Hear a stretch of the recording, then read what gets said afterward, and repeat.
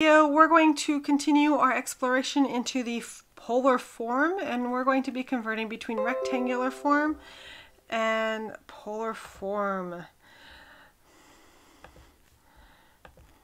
All right, so we're going to express the polar form and the rectangular form of a complex number and how they're related. So the first one we're going to talk about is how we can relate z equals to 5 so this 3 pi over 4 and that's a pi. It's a weird looking pi but it's a pi. So first we need to identify the values of r and theta. So first step r is equal to 5 theta is equal to 3 pi over 4 all right, then what we need to do is we need to identify the A's and the B's. So in our case, A is going to equal 5 cosine, because again, C is for the cosine, 3 pi over 4. And B is going to equal 5i sine 3 pi over 4. All right, so the next step is to identify cosine 3 pi over 4. Again, this goes back into the unit circle. Pi over 4 in the first quadrant is square root of 2 over 2. 3 pi over 4 happens to be in the second quadrant, which, so I'm going to put Q2 so I can remember. In Q2, y is positive, um, x is negative, so that means that sine is positive, cosine is negative. So if we're looking at a reference angle of pi over 4, is my reference angle, which it's going to be square root of 2 over 2, square root of 2 over 2. When I look at my a's here, my a is going to equal 5. Again, in quadrant 2, my cosines are negative, so that's going to be negative root 2 over 2. Or 5 root 2 over 2. And negative. Don't forget the negative. I'm going to use orange for B. So B is going to equal, so again, sine in quadrant 2, which is where 3 pi over 4 is, is going to be positive. So we're looking at 5i times root 2 over 2, which is going to be 5 root 2 over 2i. And I forgot the i in there.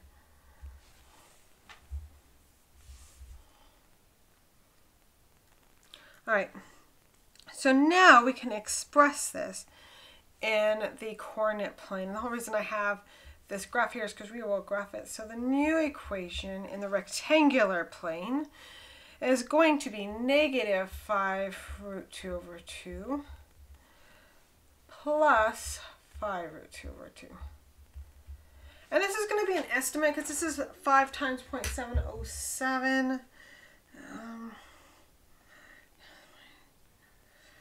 which is 3.55 roughly. 535 which means oh I forgot the I here again plus 3.535i each one of these blocks is going to I think I'm going to do each two blocks. Will represent that so we could get a little bit further. Um, use I'm going to use a dark blue here. So three and a half both directions one, two, no, one, two, three and a half. Actually, this would be, wait, what am I at here? Making so many dots, it's going to be this third dot that I made. Because again, every other dot, and it's going to be a little bit off the three and a half, but I'm just going to use that intersection as a reference because it's not exactly three and a half, it's 3.53. And so this looks something, this looks something like this. That did not go as expected. I was hoping that I would swing out from that point, but it did not. All right, scoot this over a little bit, right there. Do little hashtags going down just to show.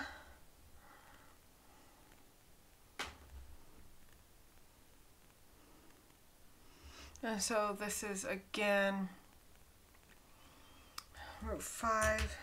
And I'm just going to double check that 5 times 2, take the square root of that, divide by 2. I think I get 3.543. So we're looking at this point right here with this guy right here being 5. This measurement right here, 5 root 2 over 2.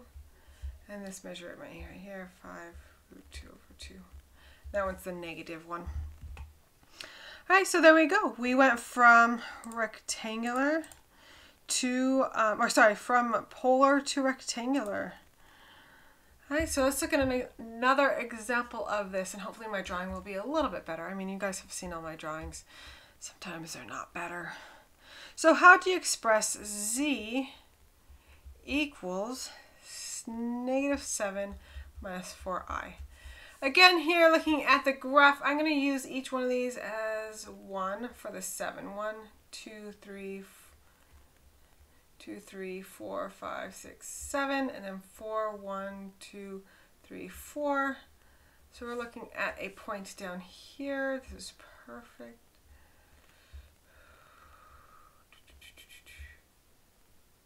Do something like this. Try to get it as close as I can. There we go. So we're looking at this guy. I do need to know the hypotenuse here because that is going to be our r. So we're looking at negative 7, negative 4 here.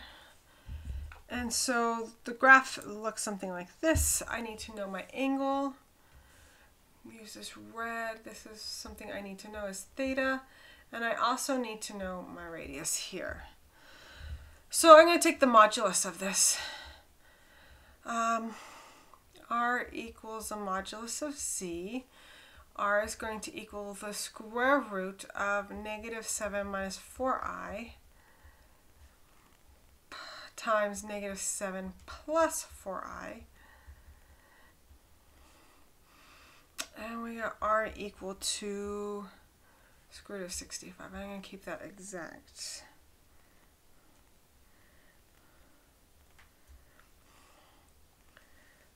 Just for right now. We'll probably convert it into decimal in a little bit. Now I need to find the theta. I need to find this, this um, angle. So I'm going to use tangent because I'm given the adjacent and the hypotenuse for this little circle. So basically I know I could find the reference angle here, alpha. So I'm going to use tangent of alpha, which is the reference angle. This is not the actual theta angle.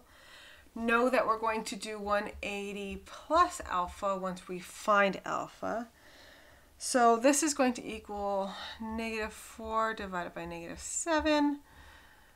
Again, opposite over adjacent. Um, undo the tangent, I'm going to have to take the inverse. So tan inverse, oh, not inverse, um, sorry. No, yeah, inverse tan inverse.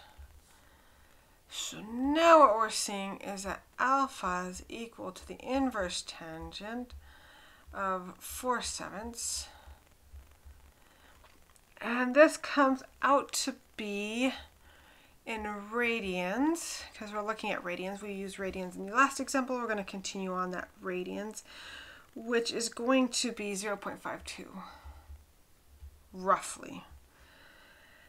And since this is my reference angle, I'm going to add 180 degrees or pi, I should have said pi plus alpha, which is going to be, which is going to be theta roughly 3.66 radians.